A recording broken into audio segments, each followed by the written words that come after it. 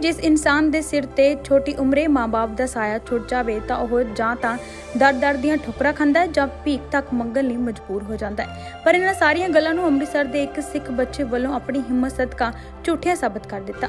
13 ਸਾਲ ਦਾ ਇੱਕ ਸਿੱਖ ਬੱਚਾ ਜੋ ਕਿ ਅੰਮ੍ਰਿਤਸਰ ਦੀਆਂ ਗਲੀਆਂ ਵਿੱਚ ਬੇਲਪੁਰੀ ਵੇਚ ਕੇ ਆਪਣਾ ਪੇਟ ਪਾਲਦਾ ਹੈ ਅਤੇ ਸਾਰਾ ਦਿਨ ਮਿਹਨਤ ਮੁਸ਼ਕਲ ਕਰਦਾ ਹੈ ਅਤੇ ਉੱਥੇ ਹੀ ਉਸ ਵੱਲੋਂ ਆਪਣੀ 9ਵੀਂ ਕਲਾਸ ਦੀ ਪੜ੍ਹਾਈ ਵੀ ਕੀਤੀ ਜਾ ਰਹੀ ਹੈ। ਅਜਿਹੀ ਬੱਚੇ ਦੀ ਹਿੰਮਤ ਨੂੰ ਹਰ ਦੇਖਣ ਵਾਲਾ ਸਲਾਮ ਕਰਦਾ ਹੈ। ਇਸ ਮੌਕੇ ਗੱਲਬਾਤ ਕਰਦਿਆਂ ਦੀਪਕ ਸਿੰਘ ਨਾਮ ਦੇ ਇਸ ਸਿੱਖ ਬੱਚੇ ਨੇ ਦੱਸਿਆ ਕਿ ਛੋਟੀ ਉਮਰੇ ਭਾਵੇਂ ਉਸਦੇ ਮਾਪੇ ਦੀ ਮੌਤ ਹੋ ਗਈ ਪਰ ਉਸਨੇ ਕਦੇ ਵੀ ਹਿੰਮਤ ਨਹੀਂ ਹਾਰੀ। ਨਾ ਘਰ ਨਾ ਮਾਪੇ ਨਾ ਕੋਈ ਸਾਥ। ਫਿਰ ਵੀ ਆਪਣੀ ਮਿਹਨਤ ਸਦਕਾ ਸਾਰਾ ਦਿਨ ਬੇਲਪੁਰੀ ਵੇਚ ਜਿੱਥੇ ਆਪਣੀ ਰੋਜੀ ਰੋਟੀ ਦਾ ਇੰਤਜ਼ਾਮ ਕਰਦਾ ਹੈ, ਉੱਥੇ ਹੀ 9ਵੀਂ ਕਲਾਸ ਦੀ ਪੜ੍ਹਾਈ ਵੀ ਕਰਦਾ ਹੈ। ਮੇਰਾ ਨਾਮ ਦੀਪਕ ਸਿੰਘ ਉਮਰ? ਉਮਰ ਹੈ 13 ਸਾਲ। ਮਾਤਾ ਪਿਤਾ ਤੇਰੇ? ਮਾਤਾ ਪਿਤਾ ਦੀ ਮੇਰੀ ਡੈਥ ਹੋ ਗਈ। ਕਿੰਨਾ ਚਿਰ ਹੋਇਆ? ਮੈਂ ਉਦੋਂ 2 ਸਾਲ ਦਾ ਸੀ ਜਦੋਂ ਮੇਰੇ ਮਾਤਾ ਪਿਤਾ ਦੀ ਡੈਥ ਹੋਈ। ਤੇ ਹੁਣ ਕੀ ਕੰਮ ਕਰਦਾ ਤੂੰ?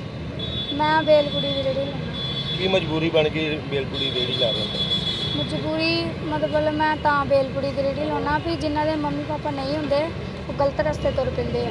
ਮੈਂ ਇਸ ਕਰਕੇ ਬੇਲਪੁੜੀ ਦੀ ਰੇੜੀ ਲਾਈ ਵੀ ਜੇ ਕੋਈ ਕਿਸੇ ਕੋ ਮੇਰੀ ਵੀਡੀਓ ਜਾਊਗੀ ਉਹ ਸਮਝੂਗਾ ਵੀ ਨਹੀਂ ਜੇ ਕਿਸੇ ਦੇ ਮੰਮੀ ਪਾਪਾ ਨਹੀਂ ਹੈਗੇ ਮੈਂ ਵੀ ਮਿਹਨਤ ਕਰਕੇ ਖਾਵਾਂ ਕਦੀ ਕਿਸੇ ਦੇ ਮੰਗਾ ਨਾ ਕੁਛ ਤੇ ਹੁਣ ਕਿੱਥੇ ਰਹਿਣਾ ਤੂੰ? ਹੁਣ ਮੈਂ ਇੱਥੇ ਅੰਮ੍ਰਿਤਸਰ ਇਹਨਾਂ ਕਿਰਾਏ ਦੇ ਰਹਿਣਾ 3500 ਰੁਪਇਆ ਕਿਰਾਇਆ ਤੇ ਬਿਜਲੀ ਦਾ ਬਿੱਲ ਵੱਖਰਾ ਉਹਨਾਂ ਨੂੰ ਦੇਈਦਾ ਤੇ ਰੇੜੀ ਤੇਰੀ ਆਪਣੀ? ਹੈ ਜਿਹੜੀ ਕਿਰਾਏ ਦੇ 400 ਰੁਪਇਆ ਕਿਰਾਇਆ। ਤੇ ਕਿਤਨਾ ਕਿੰਨੀ ਕੁ ਦਿਹਾੜੀ ਪੈ ਜਾਂਦੀ ਹੈ? ਦਿਹਾੜੀ ਮੇਰੀ ਪੈ ਜਾਂਦੀ ਹੈ 200 ਰੁਪਇਆ ਕਦੀ ਕਦੀ 100 ਜਿੰਨੇ ਆ ਗਾਹਕ ਦੇ ਹਿਸਾਬ ਨਾਲ ਜਦੋਂ ਗਾਹਕ ਜ਼ਿਆਦਾ ਹੋਊਗਾ ਫੇਰ ਹੀ ਜ਼ਿਆਦਾ ਪੈਸੇ ਮਿਲੂਗੇ। ਪੂਰਾ ਹੋ ਜਾਂਦਾ 1.5 200 ਨਾਲ ਚੱਲ ਜਾਂਦਾ ਫਿਰ। ਨਹੀਂ ਉਹ ਘਰ ਤੇ ਨਹੀਂ ਚੱਲਦਾ ਮਹਾ ਸਮਾਨ ਜਿਹੜਾ ਲਿਆ ਕਰਨਾ ਉਹ ਹੀ ਪੂਰਾ ਹੁੰਦਾ। ਪੜਦਾ ਵੀ ਹੈ ਤੂੰ? ਹਾਂਜੀ 9th ਕਲਾਸ ਚ ਪੜ੍ਹਦਾ ਸਰਕਾਰੀ ਸਕੂਲ ਉੱਥੇ ਵੀ ਫੀਸ ਦੇਣੀ ਪੈਂਦੀ ਆ ਰੁਪਇਆ ਮਹੀਨੇ ਤੇ ਕਿਤਨਾ ਪੈਸੇ ਟਾਈਮ ਕਿਵੇਂ ਦੇ ਲੈਣਾ ਪੜ੍ਹਾਈ ਨੂੰ ਤੇ ਇੱਥੇ ਕੰਮ?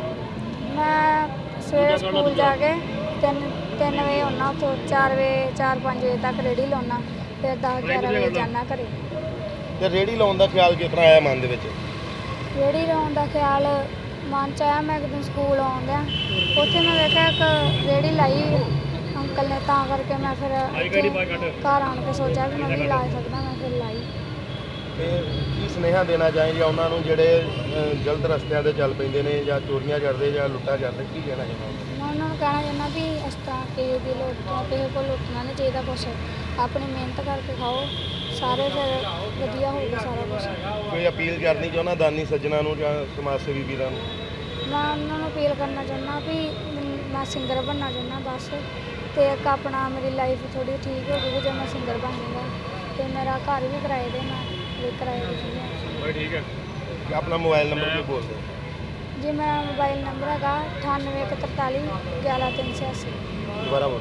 9843 11386 ਇਹ ਛੋਟਾ ਜਿਹਾ ਬੱਚਾ ਆਪਣੀ ਪੜ੍ਹਾਈ ਦੇ ਨਾਲ ਰੋਜ਼ਾਨਾ ਹਿੰਮਤ ਕਰਕੇ ਕੰਮਕਾਰ ਵਿੱਚ ਜੁਟ ਜਾਂਦਾ ਹੈ ਅਤੇ ਇਹ ਉਹਨਾਂ ਲੋਕਾਂ ਲਈ ਮਿਸਾਲ ਹੈ ਜੋ ਜ਼ਿੰਦਗੀ ਦੇ ਦੁੱਖਾਂ ਅੱਗੇ ਹਿੰਮਤ ਹਾਰ ਜਾਂਦੇ ਹਨ। ਅੰਮ੍ਰਿਤਸਰ ਤੋਂ ਪੱਤਰਕਾਰ ਗੁਰਪ੍ਰੀਤ ਸਿੰਘ ਦੀ report. Please subscribe our channel and press the bell icon ਤਾਕਿ ਕੋਈ ਵੀ ਨਵੀਂ ਅਪਡੇਟ ਤੁਸੀਂ ਬਿਲਕੁਲ ਵੀ ਮਿਸ ਨਾ ਕਰੋ।